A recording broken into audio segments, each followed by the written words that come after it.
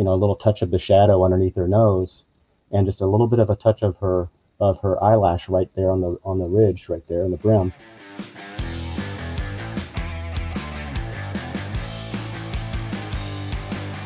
Well, welcome to day number 165. Yeah, celebrate 165 days in a row. We've been here. Hard to believe. And we have a very special guest to celebrate with us, Scott Tallman Powers. Scott, welcome. Uh, thanks. Thanks so much, Eric. Thanks for having me. Tell everybody where you are. I'm in Kalispell, Montana. Okay. Uh, up in the north northwest Montana. Excellent. So, yeah.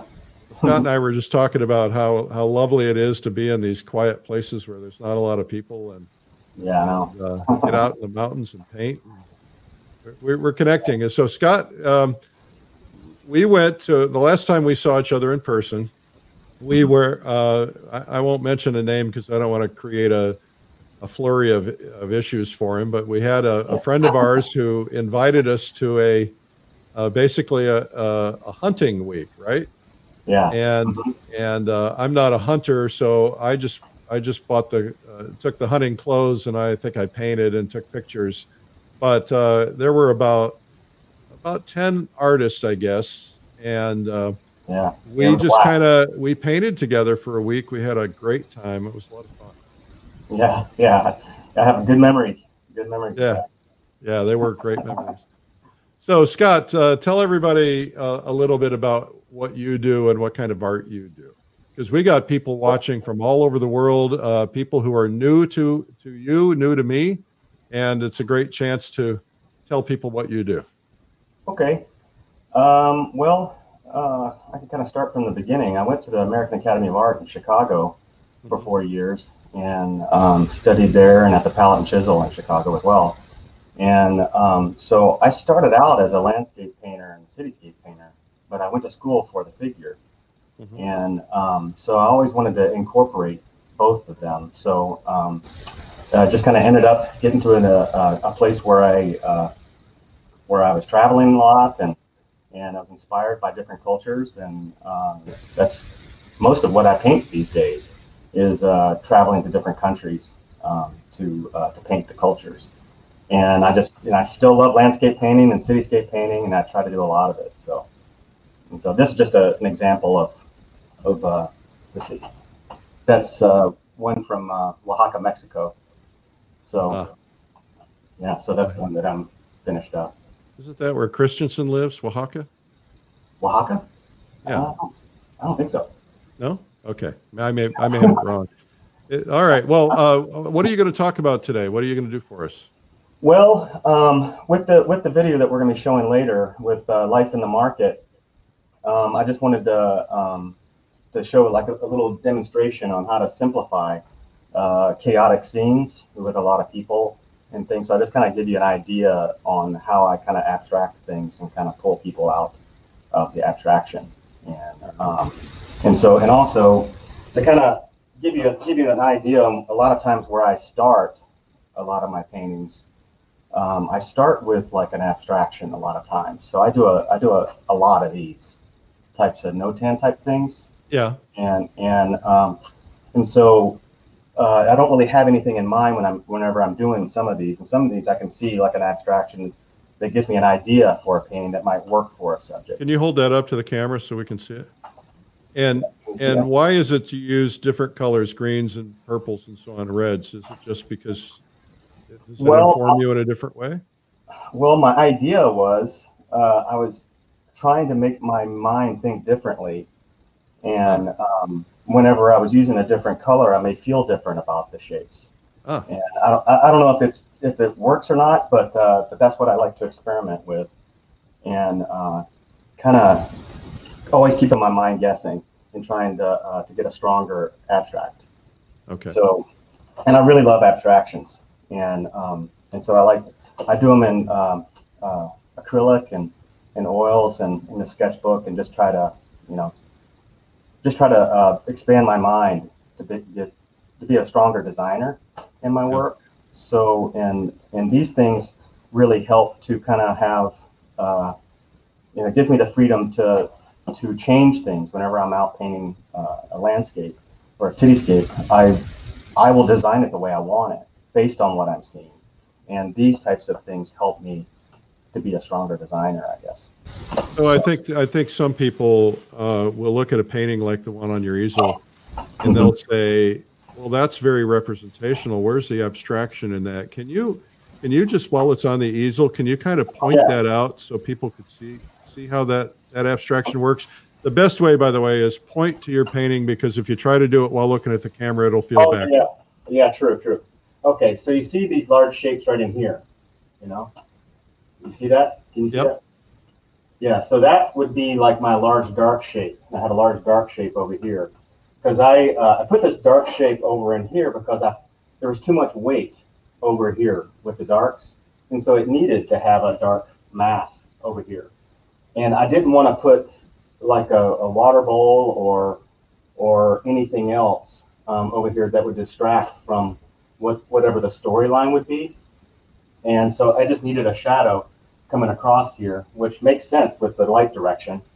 And um, so that that's how I think of it, like a light dark pattern. Um, my instructor, Ted Smuskiewicz at the academy, would have me go to the uh, Art Institute after school every day when I was going to the palette chisel and um, and so I would do these these notans just with a, a, a marker, and and and I would just abstract all the paintings that I liked in the museum, and so it's just kind of getting myself conditioned for design, and um, so does that make sense? Whenever I'm Yeah. explaining The other thing I noticed when you were pointing it out, if you were to lay your pointer on the the line right above the tire, uh, Okay. okay, that yeah, right, the you know Yeah. the red and the black. Okay, it's pointing to the man. yeah, And then if you if you lay your your pointer on the line of the tree branch coming out, it's pointing to the man. You Yeah. know, it, it, is that all very intentional, or was that um, you know, Yeah. are you trying to draw attention to the as he your focal point? Yeah, he is definitely my focal point because he's bringing he's bringing um, a, a bridle to put on the horse, and him and his son are going to take the uh, the watermelons to market. So, so he's bringing a new bridle to the you know to put on the horse, and um, so I do I do think a lot about that uh, on where my placement of my center of interest is going to be, and um, and so directional lines like this definitely help tremendously. And Now, so, uh, when- a lot of that I think about it. Now, I, I would imagine that that's not the same as the photographic reference, is it? Or No. is there- N- No, it was really junky in the background. It was not good. It was really uh, there was a there was a there was a, chain link fence behind it, and um, it, it was bad. This you know the horse looked beautiful. I loved all that stuff that was going on in the scene, and um, and so I put the boy in there, and uh, and because a lot of the, a lot of times I'll see a story whenever I'm traveling, and then I will make notes of it in my uh, sketchbook that I liked what I liked what was going on with the story, and and then I'll piece it all together uh, into a piece to recreate a story um, based on what I, I saw in person. Great. So Well, what we're going to do is we're going to drop you off for a second. You're going to get your camera set up for your demo, and then I'll make a couple of announcements, and we'll see you in a minute. So what I have here, um, can you, what I have here is just an example um, from one of my trips to China. Um, I was going to try to show you guys just an example on how to simplify some chaotic scenes in the Yeah. background and with your with your main subject. And and so I kind of drew it out in charcoal um, last night just to kind of speed things up a little bit. But uh, but also whenever I'm whenever I'm um, doing a painting like this, something I'm always aware of uh, on the uh, uh, the canvas is like where my eye level is, and and I like to put that in there pretty early on. Um, So, how So- do you determine that? well, you know, I'm standing right up against this woman when I was taking this shot, so I'm I was probably about right. My eye level is probably about right there, most Yeah. likely. And typically, from a per- perspective standpoint, the eyes of the persons that you're photographing are typically at eye level as well, unless they're, of course, up a hill or down a hill. Well, at yours, yeah, and Yeah, your eye level. At your eye level, yeah. Yeah, yeah. So, um, yeah. So this was all flat ground. So if it if it was really hilly in here, there'd be some other things that I'd have to adjust for. Um, but uh, I just it, it reminds me to keep all the people uh, kind of above the eye level and, and below the eye level. You know, for tall people, short people, to make it more realistic. And um, and so um, I will just be painting that as a large shape and kind of break it up later as I need to, um, and pull these people out of there. So I guess you know, I'll be painting right through these folks, um, and then just kind of pull them out of the abstraction Uh-huh. uh, as I need them to support the main figure. Now, can you explain your composition here? Um, if, if, you know, what are you trying to accomplish?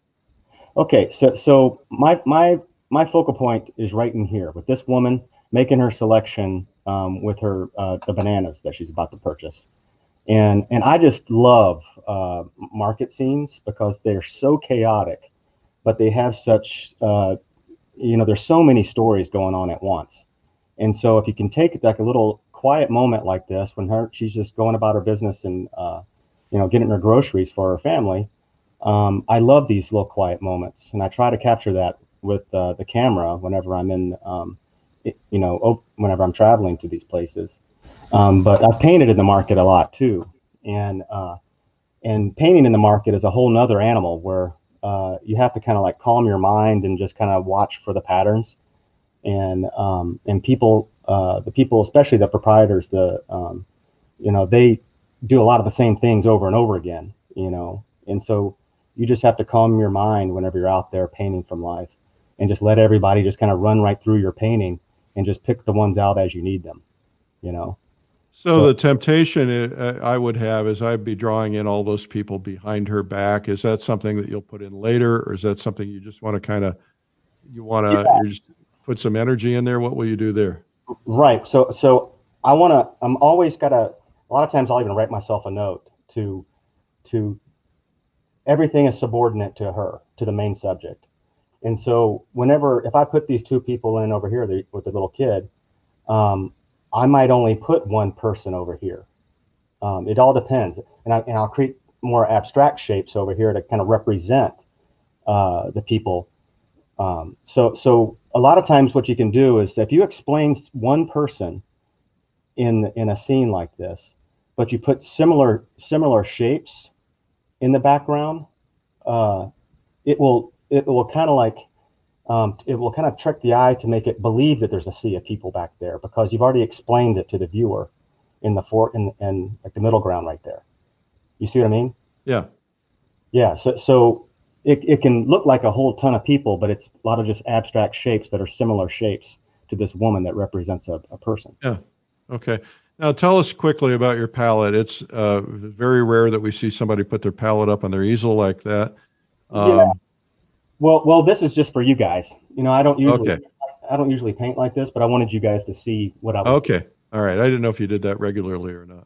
No, not not often. Um, every once in a while, I might do something like that just to mix things up. But uh, but my my uh, glass palette's underneath this wood thing that I built just to kind of you know cover my uh, my tabaret. But uh, I just have a alizarin crimson here, and I have a naphthol red here, and a cadmium orange, and a cadmium yellow, and then I have my titanium white and uh, yellow ochre, uh, burnt umber, raw umber, sap green, and ultramarine blue.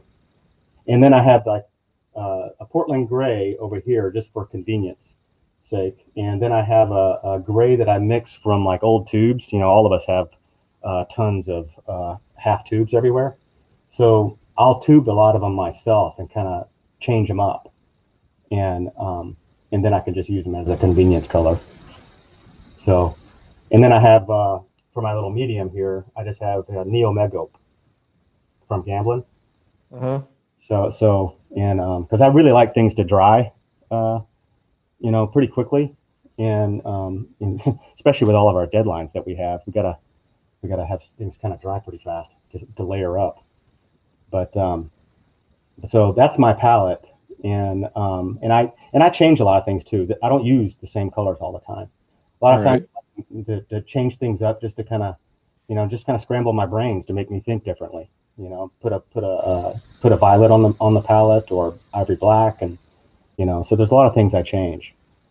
But uh but like with this with this painting right here you know i had the had the idea of having more like kind of gray yellow oranges with more of this uh um, gray blue.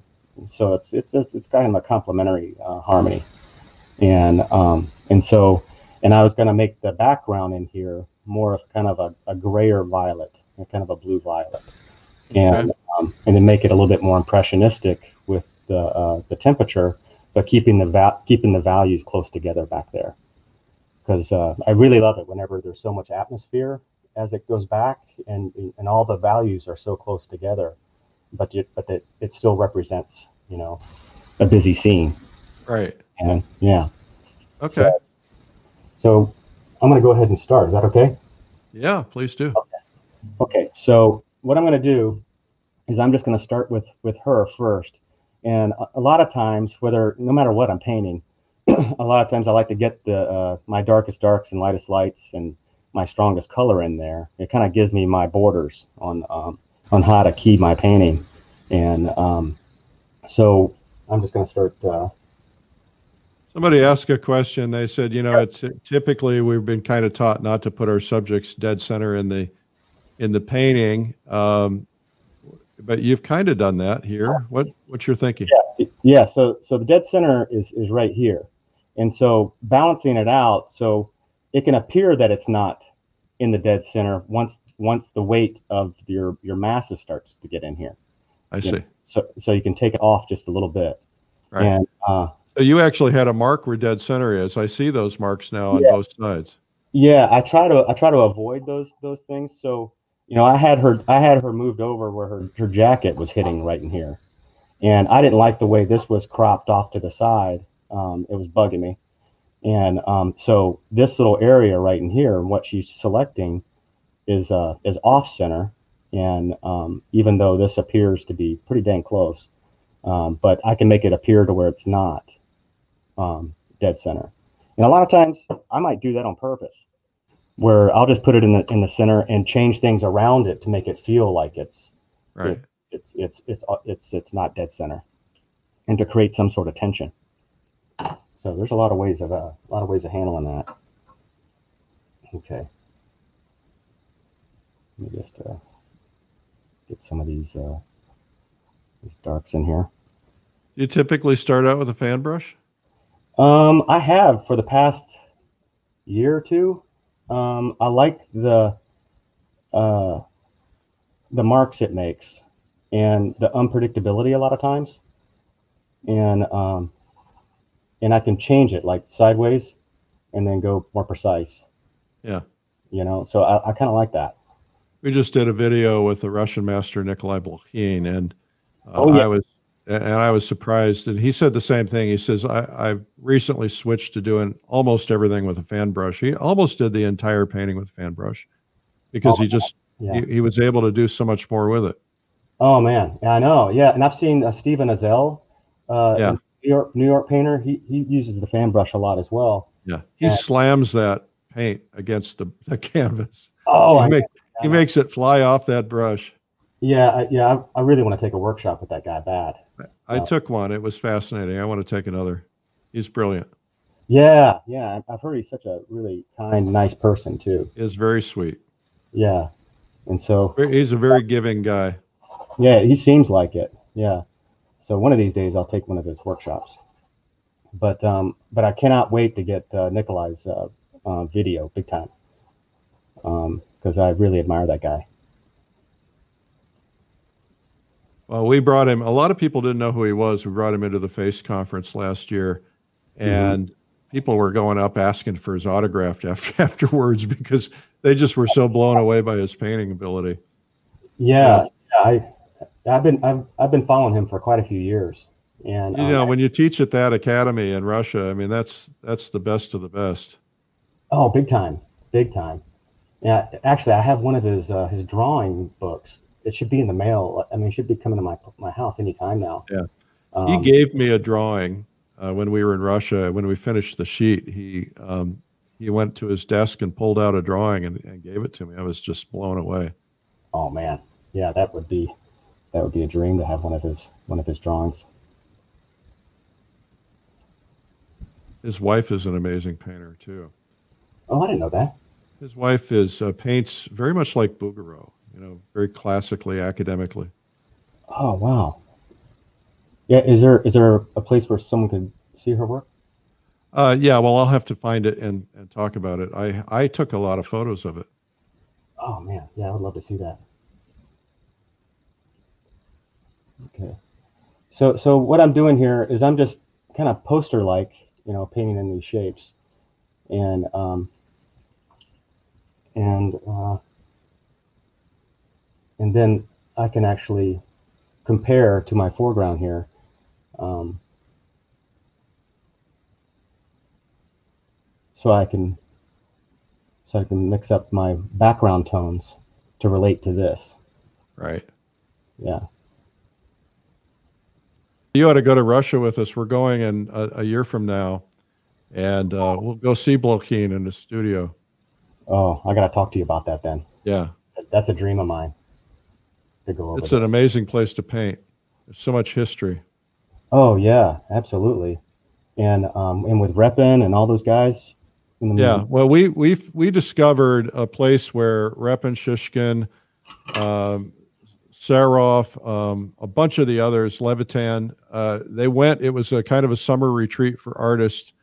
And uh, the last day we were there, we discovered it. Andre our friend over there, took us. He lives nearby, and uh, it, all these scenes that you've seen these famous paintings of were all around us. And so we're going to go there and paint for a day. It's going to be fun. Oh yeah, yeah, yeah. You guys are going to have a blast with that. All the scenes of Levit- Levitan painted and all that. Oh yeah, and we're talking about the possibility of doing a workshop uh, with Jove Wang at the at the Fechin Museum, where we paint and copy the Fechins. That's I don't know if that'll happen, but we're talking about that too. Yeah, that would be incredible. Okay, so tell us a little bit about what you're doing. Okay, so I'm trying to, you know, kind of help myself out here by making more accurate decisions related on to the foreground, and um, so I'm kind of getting my bearings here with the block end, and um, so having like a, a, darker shape right here where she's choosing those bananas, and I'm going to lighten up these areas back in here to where she pops out, and um, and so I'm trying to step my way through the, the painting here. And because you see there's a lot of a lot of chaos in here. And you know see these dark these dark areas where the where their heads are right. competing, competing a little bit too much. So i'm going to compress these values by compressing mean, meaning bringing them together a little bit more and pushing them a little bit higher in value to where she pops out a lot more.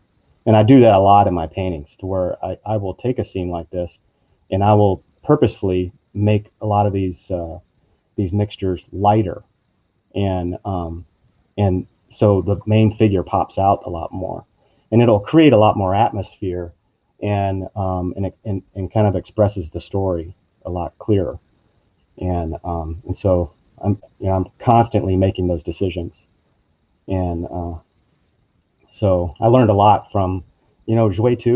you know Jove Tu, yeah. right? Yeah. yeah he's, he's a good friend of mine and um, a Chinese artist. And he took us over to China and to paint there years ago. And um, and I learned so much from him and, and all of his friends over there. And and uh, good painters there. Excellent painters. And, well, it's uh, you know it all it all, all turned out to be rooted in Russia because they did the cultural exchange. Yeah. And so the Russians came over to China to teach them to paint and the, a lot of them went over to Russia to learn to paint. Yeah, that's what that's what they were telling me over there, and I was so impressed, so impressed. And we went to to uh, some of the schools um, that they had over there uh, in Guangzhou and in Beijing, and um, and these young kids were were doing like professional level work. Yeah, yeah. I just couldn't believe I couldn't believe it. They've got a massive plein air movement going on over there too. Most of it's watercolor. Oh, really? Wow. Yeah. I didn't. Yeah, I didn't realize it was mostly watercolor, but you know, there's a lot of oil painters that I paint that we painted with. Oh yeah. I was supposed to go over there in in uh, April. Good thing I didn't go. Yeah, no kidding. I know that would have been uh, would have been bad, but uh, I can't I can't wait to get back over there someday when everything calms down. Well, I was good. Part of why I was going over is I was getting ready to plan a trip to China mm-hmm. and uh, take a bunch of painters over there, take them around to different sites. Oh yeah. yeah, that place is an, is an amazing place to paint, and the people are so sweet. They're so kind, um, and I just loved it. And they were very generous. You know, I, I, I sat in in a um, family's home in this little tiny village that Joy uh, uh, took us to, and Yeah. and they shared they shared their potatoes that they these purple potatoes that they were cooking in the uh, in the fire, and um, and it was great. You know, I give them a power bar, and they would give me a purple potato. So I, I Well, and that's that's really meaningful because they have so little, and often oftentimes. yeah, yeah, they, yeah. They you know they they were extremely happy about uh, you know living the way they lived up in the mountains there, and and um, gave me a lot of perspective. You know, so Yeah. you know, thinking about, you know, my issues kind of paled in comparison and just try to find the happiness in the simple things.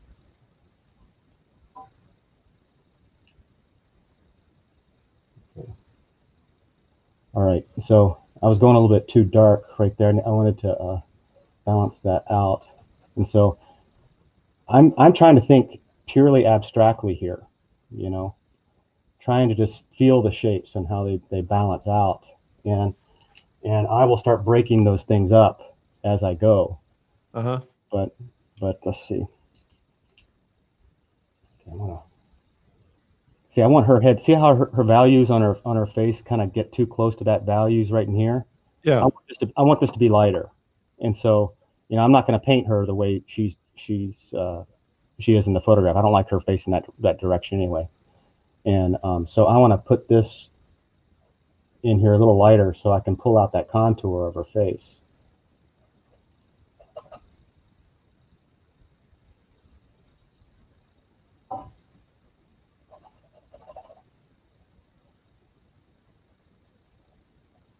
Also behind her too. But she has like a little dark spot that's right on her.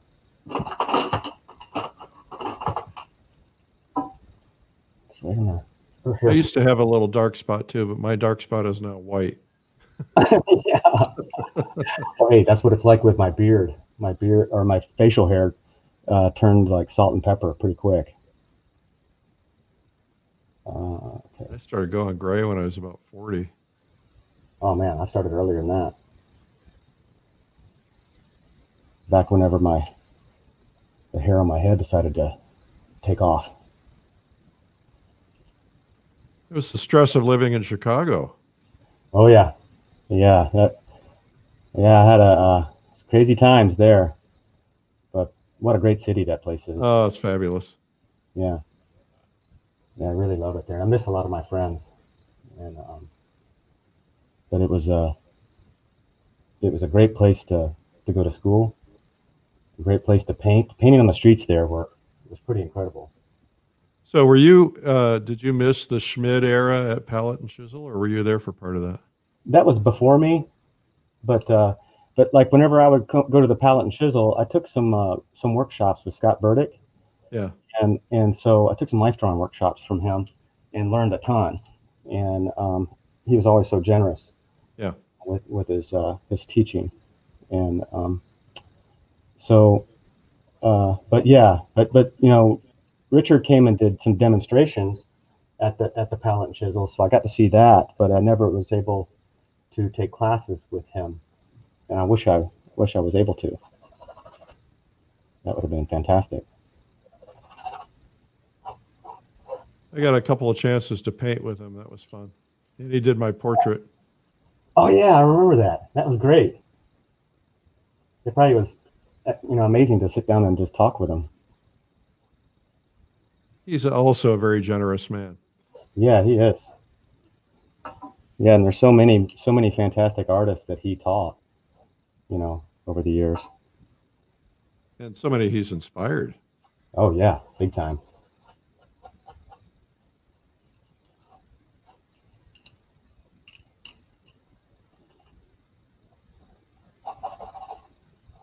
Okay, so I'm still just kind of thinking in large, larger shapes here, and I can I can go back into these like middle tones, and um, and pop some darks and uh, and, and lights as well. So I didn't want to exhaust all my values. Yeah. So let's see. I need to get that hat kind of kind of blocked in here a little bit.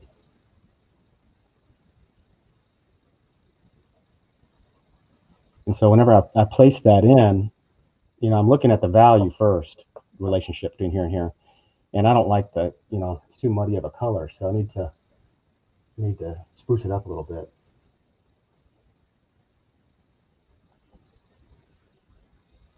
Just thinking, I love my job. Just watching you guys, so much fun. Oh man, I, I can't believe I can't believe you've been going so long, and uh, and you've been doing great. I just can't believe it. That's some that's some uh, tenacity. I have nothing else to do. well, you're doing a great job. Thank you. Yeah, it's, it's a lot of uh, lot of lot of great things you're bringing to people. So I, I appreciate that. I love doing it. A lot of fun to do it. Yeah. Okay. let's see. With these fan brushes, I like that it just immediately breaks up an edge because it really drives me crazy to have like a like a mark that looks like the shape of the brush. I don't know why it Yeah. bugs so much. I'm always like messing with it to to make it more organic looking. And uh, let's see. And so I have tools that I'll show you too that um, that I use to to kind of obliterate that, you know, obliterate the shapes and and kind of abstract them a little bit more. Okay, so get that on. Get this on there.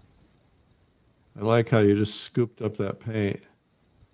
Yeah, just try try to see. I have to make notes to myself. I, you know, I'm, I want to use more paint, less medium, all these different things. We all make notes to ourselves, and uh, and so because uh, over the years, I don't know what the heck happened to me. Um, I started painting thinner for some reason, and because I was painting a lot thicker years ago, and uh, I don't know what happened. So I started making a conscious effort to paint thicker because I enjoyed it more. You know, I liked what I was doing whenever I could see the juiciness in the paint. See, what I like what you're doing there is that you re- you're really using the paintbrush more like a rubber stamp than than a you know a brush stroke, so to speak. You know, just kind of yeah, lay lay the edge of that on and and just touch it. right. Yeah, and just make the mark, and then stand back and kind of kind of check it out and see how it looks. And um, let's see. Let me get let me get some of those uh, those melons in there. You got about 10, 12 minutes left. Oh, 10, 12 minutes left? Yeah, Yeah. no pressure. Yeah. Oh, crap. Okay. Time flies when you're having fun. yeah. Okay. I'll do my best. I probably should have picked an easier subject. so, You don't have to finish the whole thing. You know, you might just finish what whatever area you think you wanted. You know. yeah. Yeah. Yeah. Yeah. Like right in this little area. You know, but, uh, but you're And then you can post the finished painting later. sure. Yeah. That sounds good. I could definitely do that. Because I, I kind of liked how things were laid out in this one. So I was kind of inspired to keep continuing on after the after the little demo here. Yeah, because in my mind's eye, I see a lot of like thick, chunky paint with more refined uh, Yeah. brushwork right in here, Yeah. and have a lot of this stuff more sculptural. And as it starts to get back up into here as well, and um, and all these other parts will be a lot thinner. And um, but you know these things take me a, take me a while. It's it's it's really hard for me to you know just bust it out. Yeah. Well, it's not something that most of us do, you know, so it's a lot of pressure also doing it on on camera. Oh yeah, yeah, big time, big time. But I'm getting, I'm trying to get the hang of this whole thing with this, uh, the Zoom stuff and these cameras, and so yeah, any any kind of feedback, I I, I would appreciate it because I'm trying to get better at it. You're doing great. Okay, thanks. But is this in is this in uh, focus? Is it clear? Yeah, it looks great. Okay, good. Because I um, had to get another little camera to attach to this thing to, so I didn't want to have my my main computer so much in my face, you know, right behind me. Oh, uh, God, I forgot one thing. Um, okay, see this? See this right here? Yeah, This, this is kind of the idea that I had with that, you know, that basic abstraction. yeah, You know, I kind of did a few of them to kind of represent that that scene, you know, and um, and so this helps me kind of navigate my way through an abstract pattern in a complicated scene. I, I, I keep looking back at these things, and it reminds me to simplify, simplify, you know, and not to get wrapped up in all the all the uh, all the details. and our mind will fill in the blanks. Yeah, yeah, and and that's what I love. Whenever I go to museums, I mean, I want to I want to have something to do when I'm looking at a painting, um, something to explore and something to imagine. And so it's uh it's important for uh, for me whenever I'm looking at work. So I'm trying to get better at that uh, with my own work. So it gives people something to explore. And um, and that's what I think that Nikolai's uh, work is so good at uh, because he he leaves a lot of things vague, and um, and so your imagination can go in there and explore a little bit. Yeah. He doesn't talk a lot. He doesn't like to talk and paint, but uh, I didn't need him to, man. I just just watching him, I was I was picking up so many ideas. Yeah, well, it's hard to talk and paint. I mean, as everyone knows, um, man, it's not it's not easy. I used to be better at it years ago, but you know, disappearing into the woods for many years, um, I have to, you know, practice a lot more with it. I had to learn to talk in general. Oh, I know. Yeah, absolutely. Absolutely. Oh, and also, I, I pay close attention to these like spaces like this. Yeah, Um, I, I avoid the the center parts of these types of things, and whenever I'm I look at the spaces all the way around, and I'll take my uh, dividers that I have, and I'll I'll go into places like in, in areas like this, and I'll avoid that center part, and and try to balance my masses, and and also I keep turning my canvas a lot too to kind of see how my abstraction is balancing out before Yeah. I've taken it to another level.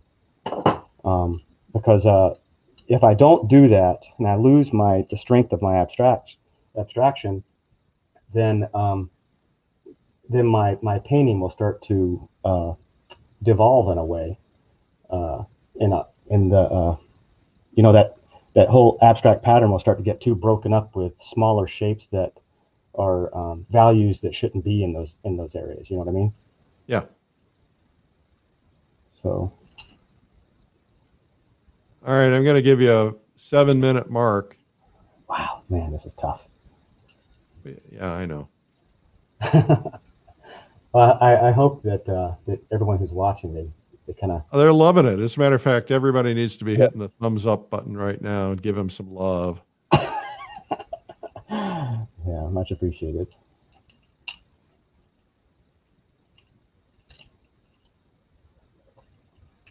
So one of the things I'm curious about is that um, you know you've got what what uh, Camille Przewodek would call a a mud head right now. Yeah, You know, it's just just and one thing I always struggle with when I get I, I take it from that stage. Mhm. Do I want to just keep the shape in there, or am I going to put some ears and earrings and eyeballs and noses and mouths in there? Am I going to do something that you know Yeah. because it tends to look too detailed if I do that. yeah, yeah. Well, yeah, like right in here, I want to put a little bit of a shape of the uh, the muscles around the mouth right in there, obviously with their lips, and you know a little touch of the shadow underneath her nose, and just a little bit of a touch of her of her eyelash right there on the on the ridge right there in the brim, and um, a touch for her her um, the back of her ear right in there, and you don't have to put that much. I mean that that earring is pretty important for me. You know, it kind of gives me an idea of like her personality a little bit. Yeah, pull some light in too.